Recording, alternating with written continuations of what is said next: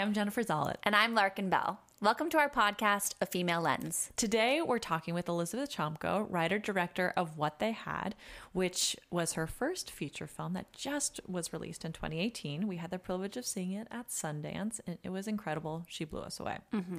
We're also discussing our favorite moments of 2018 related to women in film in the news, and why that's making us excited for 2019. Stay tuned. Welcome to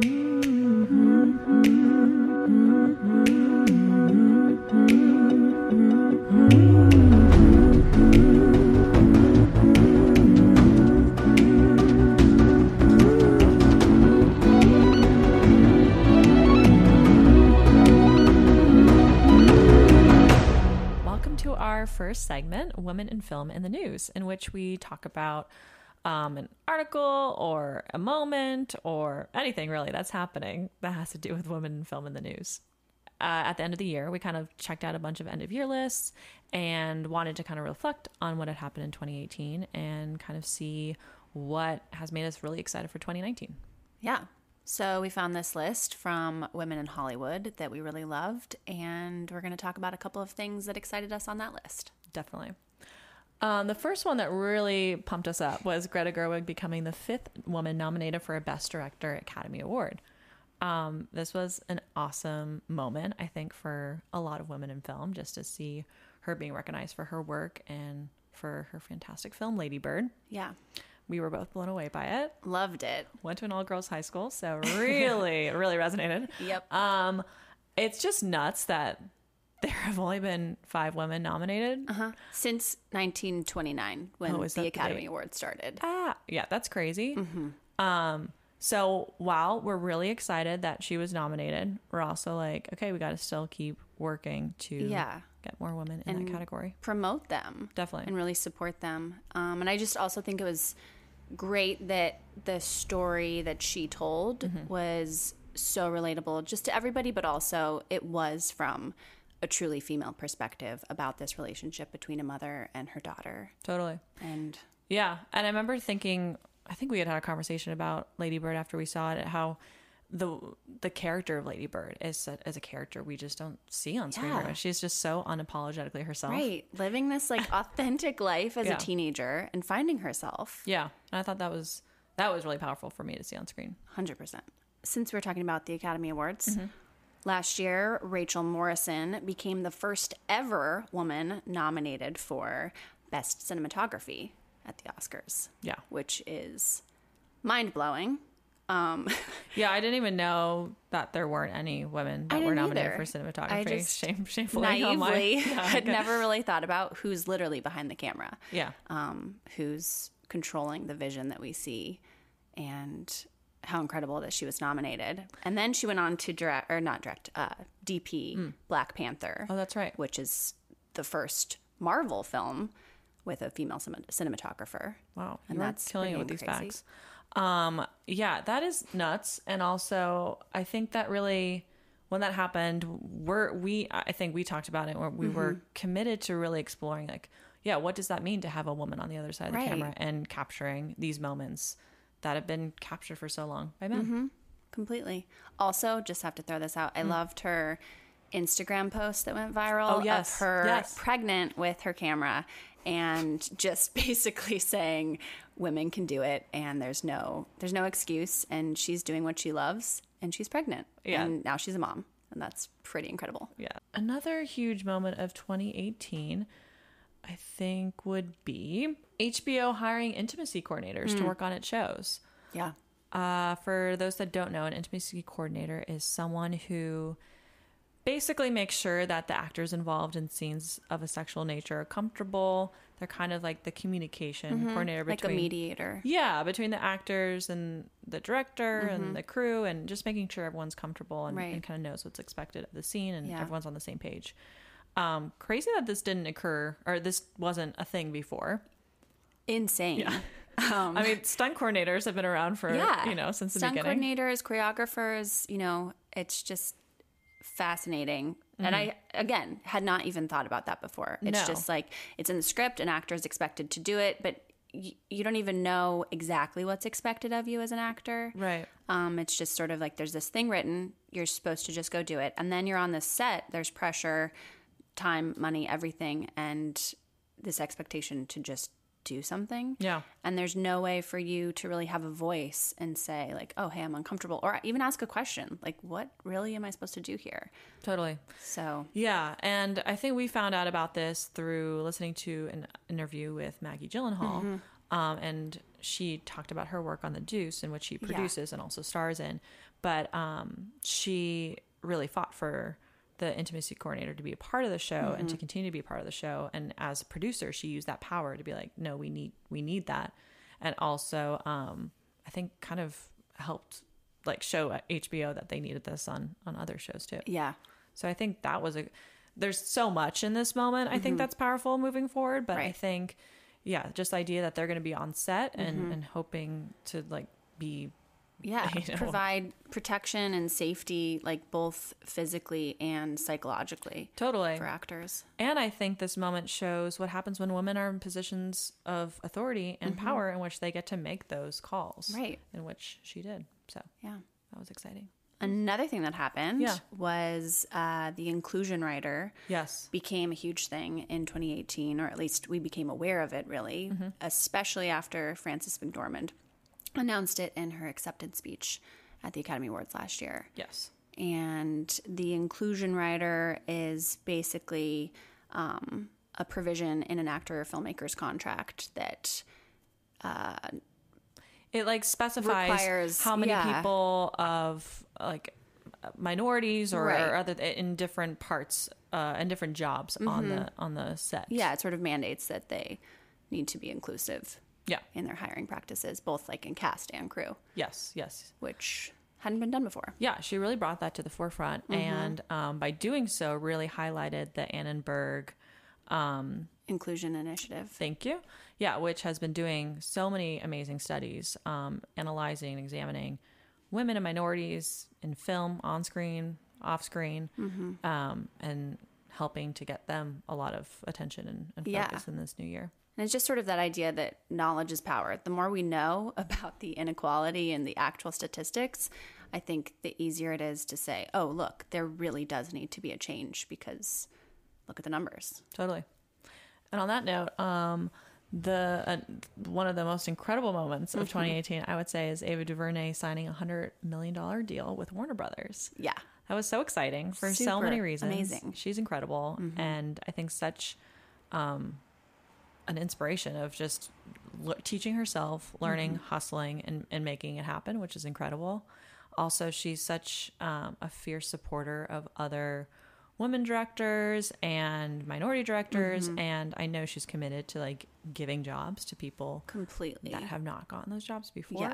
She's really setting a standard, and she definitely doesn't even need an inclusion rider because she's doing such a good job of just making that part of her her career. Um, she really hires across the board minorities and women, and I learned that uh, for her show Queen Sugar, Oh, which yeah. has had three seasons, Yes. she's had female directors for every episode, and that's awesome. Yeah, I feel like someone was trying to give her flack for that, and like, why th- this is reverse discrimination. Uh-huh. No. She's like, no, look at the numbers. Yeah. Like, it's been so much in the other way for Yeah. so long. She's like, I don't care. I'm gonna just She was keep like, doing this. Sue me, like I'll take this to court. uh, long live. Ava. She's incredible. yeah, I think those were pretty yeah, Amazing huge, moments, and I yeah. Mm-hmm. think they're really telling for an incredible year coming up.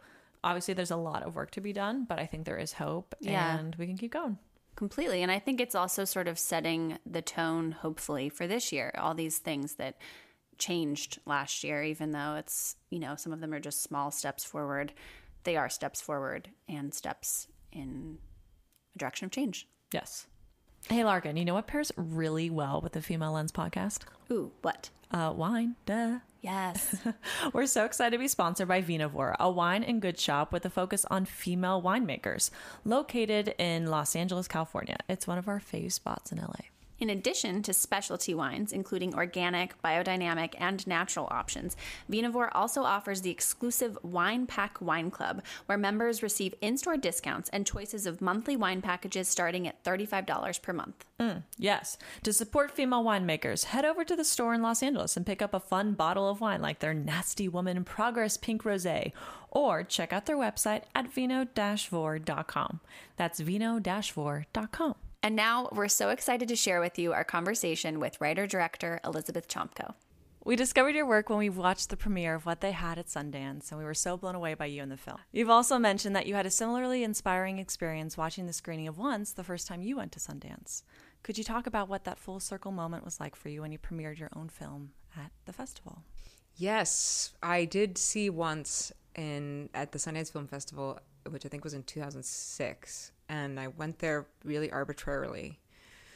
Um, and I I grew up watching MGM musicals and Judy Garland and Shirley Temple and and um, I just I don't think I'd ever I didn't realize that a, a musical could be that truthful and that s- simple and that beautifully real and I was so moved by it that I was like I was weeping throughout the movie. And and and my dad was there randomly part of this arbitrary reason that I was at Sundance that year. And and he looked he just kept thinking that I was absolutely out of my mind because I was it's not a very sad movie right? But I was really very emotional and afterward couldn't stop crying. And I think the way that that I uh, that I th- think about that now is just that my heart I wanted to be part of making movies like that so badly that my heart was breaking. And that was a real discovery, kind of like a, a, a, a moment of um, a moment of of profound change um, for me. And and um, so to then, but I didn't ever think in that moment that I would be there with my own film. I don't know what I thought, but I didn't think that that would ever happen. So to be there um, with what they had, which was just, you know, one of those moments where you can't, you, th- you think you're going to wake up, you know, you think you're dreaming. It was really a, a profound experience. You mentioned that you wrote the initial script for what they had in just a few days. Once you got the initial story written, can you walk us through the process of refining and rewriting the script? I did write the first draft very quickly, like three days, I think. And once I figured out where I was going, it took me a second to sort of get into it. But and and then at that point, I just. I was just chasing this thing. I just didn't want it to go. I was just so worried I would lose it that I just had to get it down. And I didn't write write it for any to make the movie or to do anything with the screenplay. I wrote it very much because I just felt compelled to. I just and writing them, talking, my grandparents. It was inspired by them, and it was like spending more time with them. And so once that happened, I sent it to my mom, and she um, was not as excited about it as I thought she would be, um, which was actually very helpful because it forced me to have to really reckon with the fact that it that it wasn't very good, and I couldn't put my family on the page and not really make it what they deserved, make it as good as they deserved. Um, at that point, I just rewrote it and rewrote it many times, and the, and the doing of that was there were so many different ways, like different tactics I tried to figure out where to go next with it, what the next draft should look like.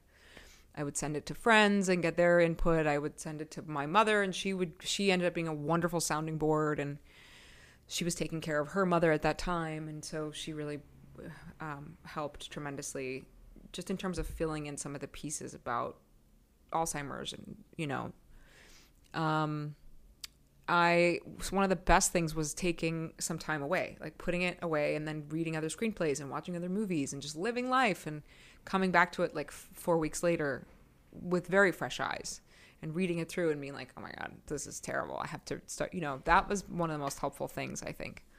Um, so, yeah, it was a long process and then rewriting it after the Sundance Lab and rewriting it once we cast, had our cast, and, and then once we got into Chicago and once I, we had locations that, that all needed, things needed to be tweaked and rewritten throughout and then of course editing is like a whole new um, as we were just talking about, a whole new rewriting process.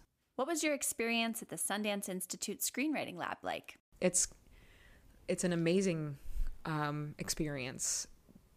You're there with wonderful mentors, people that are your heroes, and they've all read your script many times and are very familiar with it. And you meet with six of them, um, three-hour meetings, uh, blocks of meetings, and they all have a different approach um, in in how they are there to to help, and they all have different opinions and different you know ideas about what to do with your with your script and how to shoot it or what to do with the re- rewrite or you know um, and so it's at once extraordinarily helpful. Even just to engage with with uh, artists who are that much further along i think in terms of how they're t- talking about and how they're thinking about uh, filmmaking um, it's very helpful, but it's also really overwhelming. And so you leave and you're just like, your head is swimming with possibility. I think one of the most important things that I took out of the lab was learning learning to the, the importance of your internal compass of which notes are really the best for what it is that you're trying to do with your film what the story is that you're telling for your particular voice um, trying to really discover and hone that compass. What experiences with directing film did you have before doing what they have had? I didn't have much experience directing film. I had done I, once I wrote the screenplay and I decided, okay, well, I I don't think that this should just live on my computer, and I am going to direct it myself because I'm not done with it, and I'm not going to give it to anyone else.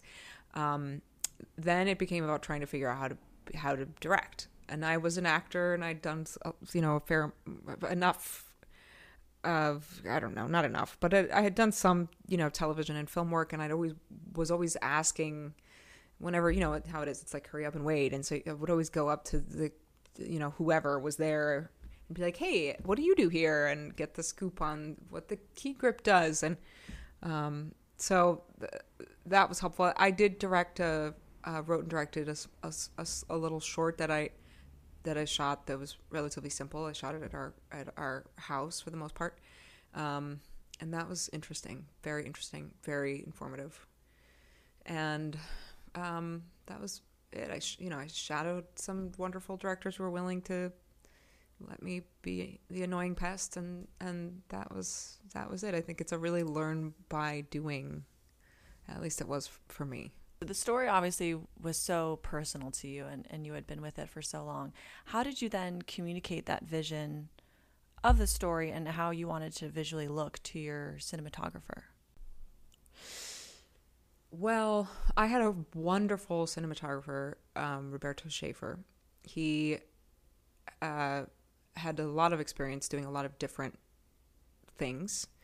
And I didn't know much about the technical aspects of cinematography. I didn't really know lenses that well. I didn't really know um, just the you know the the right words for camera moves and um, things like that. So it was a very it was about showing him what I was after and and developing that aesthetic together, describing it and looking at reference materials, art, other films, things like that and I think that's a, a, much easier way to communicate, especially if you don't have a command of, of that vocabulary.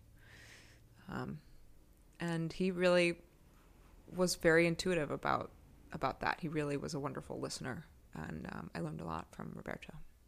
What elements in the script changed during production? There were things that changed. Yes. Um, a, a lot of it was timing. It was just time, like days amount of days. So I, I had a lot of the transitional pieces. Um, we had to cut just little nothing that was anything that was not essential to the story we had to let go of i think because um, we just had such a limited a really short shoot we shot it in 22 days and so that was that was the big thing the other big change was um, certainly like the weather we had some challenges with because it takes place in the snowstorm. That's how it starts, and then it's these five days after the snowstorm. So, and in Chicago, you know, we're in we were shooting in Chicago, but it, we didn't actually get snow for this, and you know, there's no way to really change that. Um, so a lot of it was like shooting around, or like, how do we get just enough? We'll just dress this like ten foot radius, and you know, and um, uh, that that was a big aspect. And things that we had initially thought we'll shoot outside, we couldn't because of the snow and things like that. Um, and the last piece was geographical. Once locations, we found locations. A lot of it takes place in that one condo. And there were very specific stage directions about moving around the building and the vestibule area. And they're stuck and she doesn't know the code. And, and so once I, it was written differently, a little bit differently in, in the script. And then once I found that location, it was kind of about re, just rejiggering the, the things. That there was a couple things that we added, you know, just inspired by what we found on the day. Like, oh, let's let's shoot this if we have time, and let's grab this, and um, uh, so yes, it was some changes. Yeah, quite a bit of changes, I guess. Yeah. I guess we're curious. You know, you spend so much time, you know, investing all this energy into this story, and then you get to create it, and you then put it out, and then like, how do you feel now that it's coming to an end almost, but not really since it is, you know, going to be able you, people will be able to access it still. But that that a feeling I just feel like is so particular and I'm curious if you're feeling anything. Yeah, I think it is very unique uh to in a way to get, really feel like you birth this thing and you work on it for so long and it really it lives inside of you for so long and then you open it up and share it with everyone and you suddenly have this new family of actors and crew and um and location like it just feels like you're this family birthing this baby. And then you birth it and then you give it away. And it's sort of like you just it's like that first day i don't know i don't have children yet but i um, it's like this that first day I, I would imagine of preschool or kindergarten or whatever and you just are sort of standing there like holding the fence as you watch your kids go into the playground and face everybody else and face the world. And you know you just sort of hope that it doesn't you know that it survives and that it doesn't get beat up too badly and that it finds where it belongs in the world and who is meant to be touched by um, it's a very strange um, feeling but you know, I, I think it's you're ready. I was ready to. I wasn't. I was done. Like it was a long journey, and it was a very personal journey of letting go. What a beautiful thing to be able to let go at my own pace, but um, of grief. Like it was about grief and be able to kind of hang on to pieces of them. So it's a beautiful thing, um, but it's you know it's just making a film feels like so much. You have to have so much control and then suddenly you have none anymore. And that's, you know, that's it's funny. You have a background in theater, playwriting, acting, and music. How do you find all of those feeding into your filmmaking? Well, I yes, I was an actor, and I I'm a, I play the piano and do a little composing, and um, I I have a background in visual visual art as well. I always loved um, painting and um, drawing and photography. So, and then uh, and then I was a writer from a young age. I never felt quite at home in any one of those things. I never really felt like I could felt like an actor. I never really. I just never. I loved writing plays, but I it was always about the process of writing, um, which was always over too soon. And so, certainly, being a director, these things are all essential um, and I, I, found them all. It suddenly made sense why I, I, loved all these different things and never quite felt at home in one of them. And the all of it, I don't know. I think I think that every director probably brings to it whatever makes sense for them. Um, but for me, certainly, like the music aspect is in the rhythm of the dialogue, and of course in the tone of the film, which is so dependent on the composing and you know the music and. Um, and the pace of it, and uh, certainly as an actor to be able to kind of for me it was like acting alongside of them in a way like going through the the emotions as, as they were doing them just so that i you know i was i felt i could understand whether or not we got it you know um So, uh, yeah, it was. It's. I don't know. For me, this was all very essential. What would you say is the most, or was the most surprising part of your first feature film directorial experience?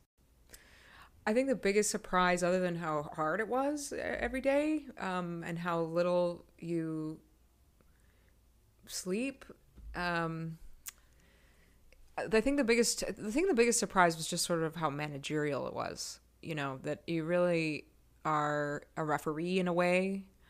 Um,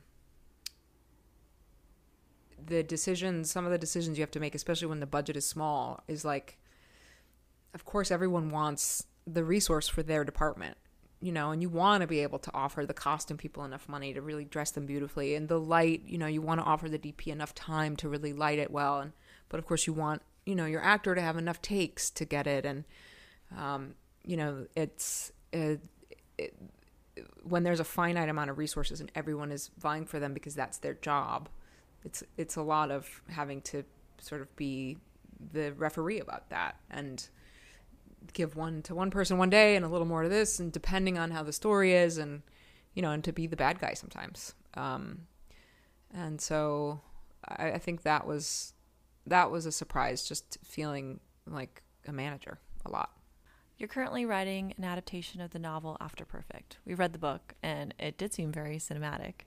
How did you start the process of translating the book into a visual story?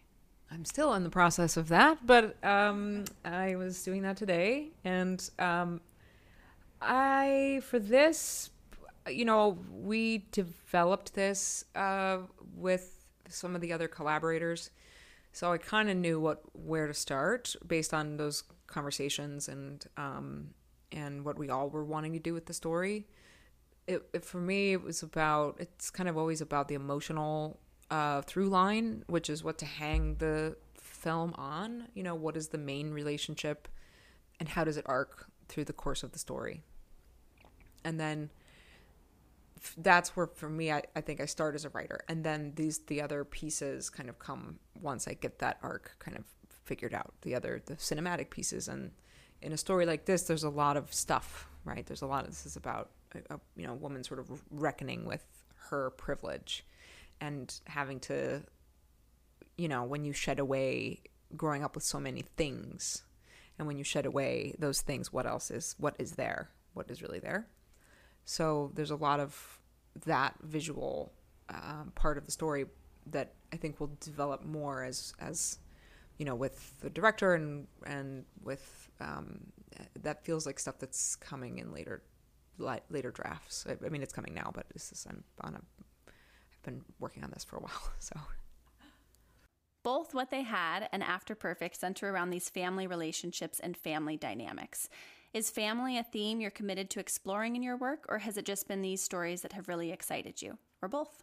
Well, I love movies about family, but I think that can be so many things. Like Boogie Nights is one of my favorite movies about family you know, a dysfunctional group of people that find family. I think when you write with family or people who are like family, there's you don't have to be quite be so polite, um, which I, I find exciting.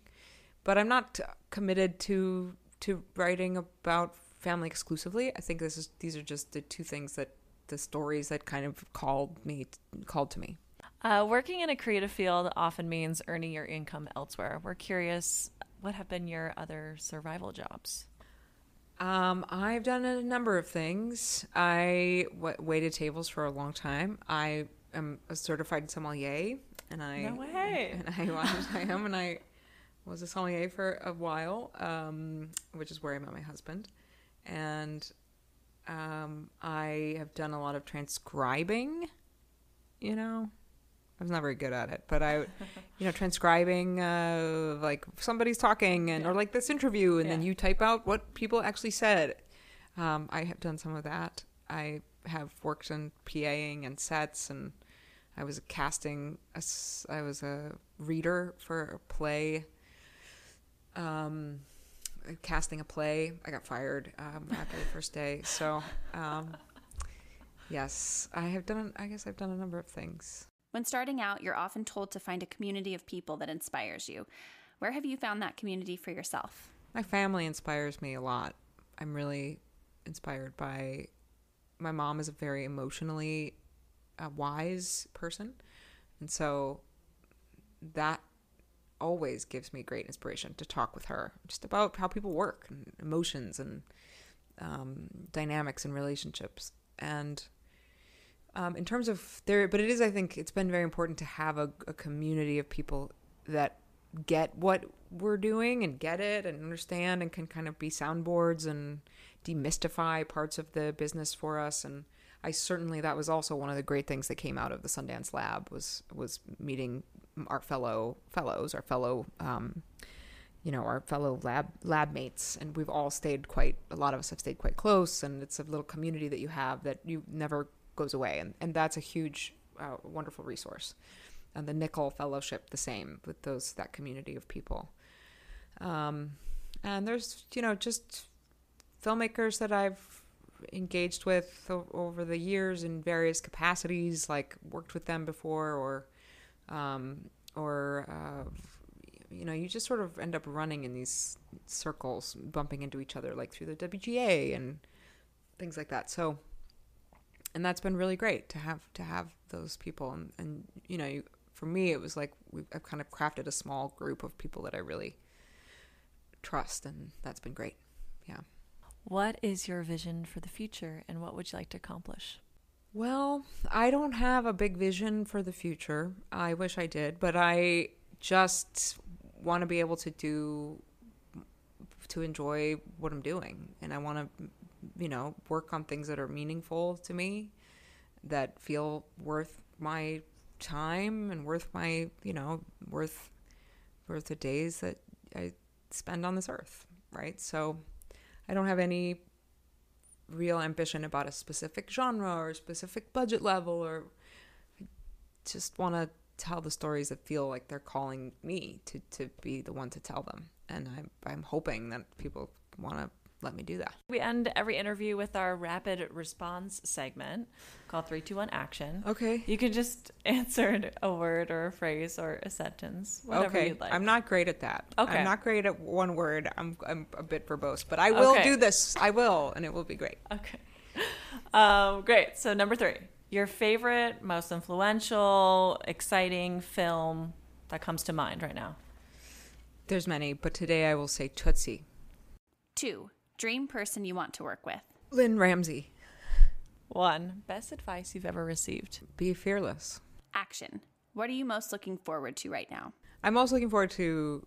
Uh, I really am digging where things are at in terms of women. Um, really supporting each other and really valuing each other's work and kind of building each other up and and standing up for each other in a way that I think is is more meaningful than ever. And I'm really excited about what that means for all of us and for all of the world at large. Like I just think that's it's an exciting time for for people who for everybody that everybody's so engaged with that there's this transsectional approach to um, getting stories that haven't been heard before and voices that haven't been heard before out into the world and how what do those stories actually look like and what do they how are they different from the things that we've seen and heard in the past and how are they the same so i'm excited about that Uh, where can people follow you on social media? I, I do have an Instagram that I try to uh, with with relative regularity update, and I'd love for people to follow me at Elizabeth Chomko. Great. Thank you so much Thank for chatting with us. Thank you for having me. It was an honor. You can find us at afemalelens.com and at a female lens on Instagram and Twitter. You can email us at afemalelens at gmail.com. And you can download the show anywhere you listen to podcasts and on Apple Podcasts, where we'd love it if you left us a review. Our theme song was composed by Jesse Nelson. Our logos are by Megan Cafferty. This podcast is produced by Jennifer Zollet and Larkin Bell.